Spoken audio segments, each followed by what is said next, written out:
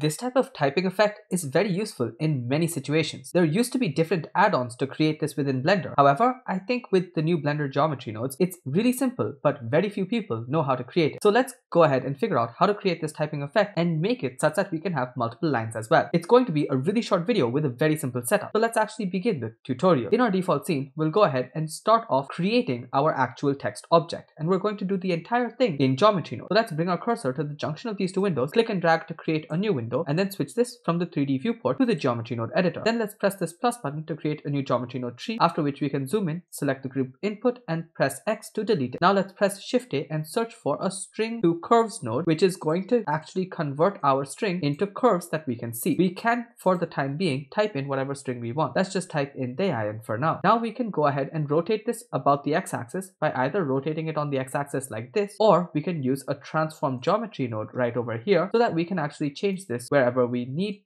to within geometry nodes itself. So let's rotate it on the x-axis by 90 degrees. Now that we have this, you can see that this text is currently just the outlines. And if you were to switch off the overlays you can't really see the text. So what we do is we press shift a and search for a curve to mesh node and plug that in right over here. Or you can also use a fill curve node. This is going to create just the outlines. So for the profile curve we can use a curve circle and just reduce the radius down to something like 0.1 or even thinner maybe 0.01 and you can see we should go to 0.01 and then even if you switch off overlays it can be seen. However i think another method if you want solid text is by pressing shift a and searching for a fill curves node. So when you plug this fill curves in right there you actually get the text and this is good enough. Of course you can make this thick by extruding the mesh and plugging that in right over here and you can see there's now some thickness. You can choose how much by playing around with this offset. Remember if you were to extrude a mesh in geometry nodes the back face does disappear so you can can just switch off individual and join it in with the original mesh by searching for a join geometry node, plugging that in right here and plugging the fill curves in over there. That way we have a solid text. Of course, for shading issues, you should note that the normals are flipped. So you should search for a flip faces node and plug that in right over here. But this is just for good practice and most situations you will get away without having to do this. However, now that you have this set up, you can go ahead and start with the actual animation. So let's go ahead and first figure out how we're going to create text that we can change. For that, we can just search for a string node. So now what we want is to type in whatever text we need over here. So let's say you're watching and maybe on another line, I want Deayan Studios. So let's take this press Shift D, bring it down here, and then type Deayan Studios over here. Now we need to join these two strings, but we want to join them such that every new thing that we add in will be on another line. For that, you can search for a join strings node, and this comes with a really useful point called the delimiter. So let's go ahead and just plug these in over here and plug this into the string over here. Now you see we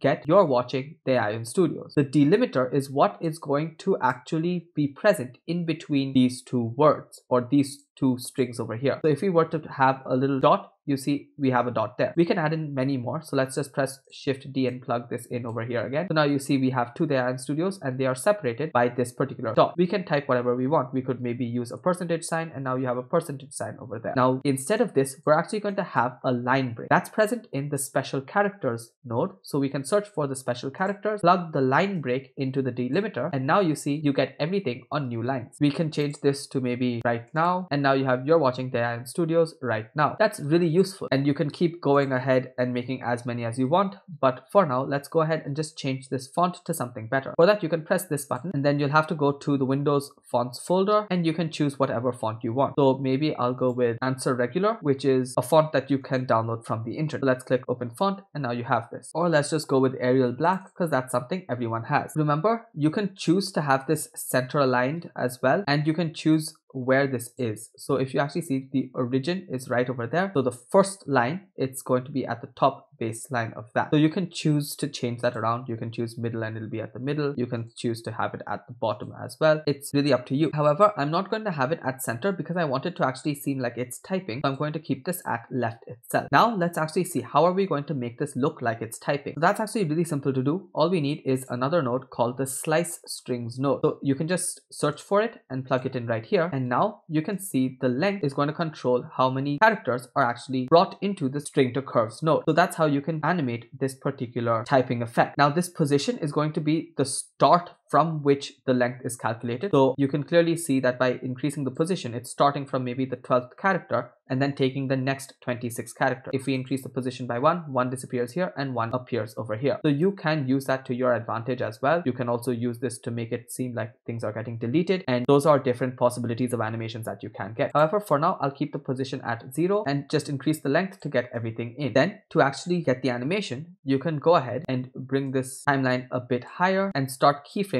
this length. So on frame one, we'll go down to a length of zero and just hover over it and tap I and make sure that you have this particular node selected so that you can see the keyframes. If you have a different node, the keyframe will disappear. So just select this and you can see it. Then let's say maybe in 20 frames or one second. So let's go to 24, we can make the first word appear. So that's going to be your, so a length of 6. Hover over it and tap I. Then just select this particular keyframe and press Shift D so that there's a tiny break before the next thing starts getting typed in. So again, it's really up to you if you want that or not. So let's say after this 6 frames, we can go another maybe 35 frames because watching is a slightly longer word and just increase this length until the entire watching is present. So just add that in, maybe duplicate this once again. And again, remember, you don't have to duplicate this keyframe. It's just to make it seem like there's some gap and it's a real human typing and not just a robot. Then again, go a few frames later, write in the next steps and just continue doing this till you have your entire thing. Hover over it, tap I, Shift T, bring it to the side, go over a few frames, plug that in, and you should be done. And make sure that you don't go overboard with the length. Only 39 characters is needed. If you were to keyframe something like this, the right now will happen really, really fast within like a frame or two. So make sure that you're at the correct number of characters that's necessary. And then just tap I, and that is it. So now when you play back the animation, you can see how the typing actually happens. And I think that's really, really cool. So you can play around with the timing by just moving these. For example, the Ion Studios came in a little too fast. You can press G and move it. But again, if you want, you could always calculate that, okay, some number of characters is going to take some number of frames and then calculate the number of frames that you should move accordingly. However, that again does become a little bit robotic because when you are typing by yourself,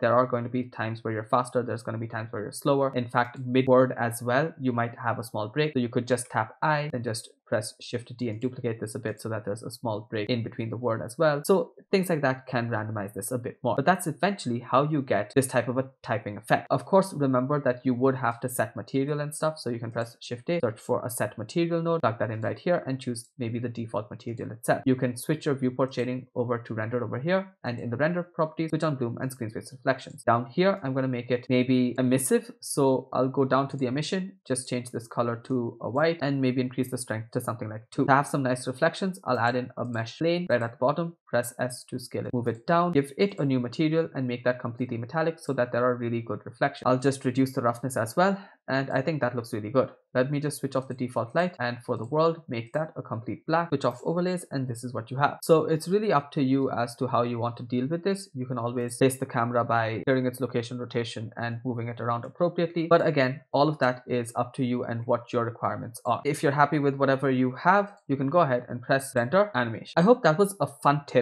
or at least a trick that you can now implement in various situations, whether you're creating overlays for your b-roll or you're creating some sort of a lyrics video, this technique can be incorporated alongside all of those. If you want to create other cool text like animations, you can check out this video over here where we learn how to convert from one text to another, again using geometry nodes. The next video will be a very interesting one because I will be talking about a topic that many of you have actually asked about. So until that one comes out, thank you so much for watching, keep creating, and don't forget to stay creative.